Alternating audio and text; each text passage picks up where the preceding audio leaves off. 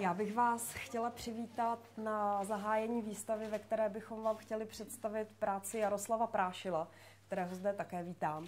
Dobrý den.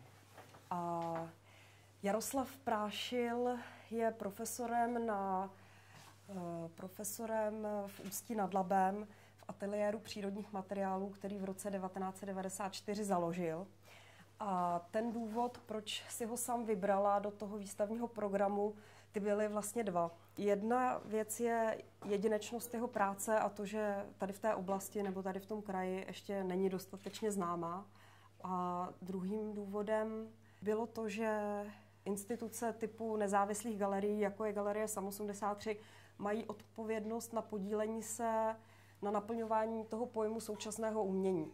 A ten pojem současného umění naplňuje jednotlivý umělec, jednotlivý teoretik a právě ta jednotlivá instituce a často je to velmi plochý pojem.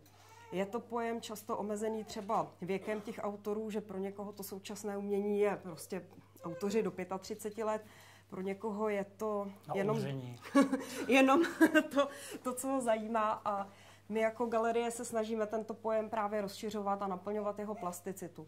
Jak už jsem řekla, profesor Prášil v roce 1994 za, uh, otevřel ten ateliér přírodních materiálů a vlastně i to je velmi záslužné v dnešní době, kdy není obecná podpora takovýchto tendencí, většinou je ten trend trošku orientovaný jiným směrem a jemu se to podařilo udržet až do dneška a uplatňuje tam tu svou výtvarnou zkušenost a vychovává jako novou generaci, novou generaci umělců svým způsobem.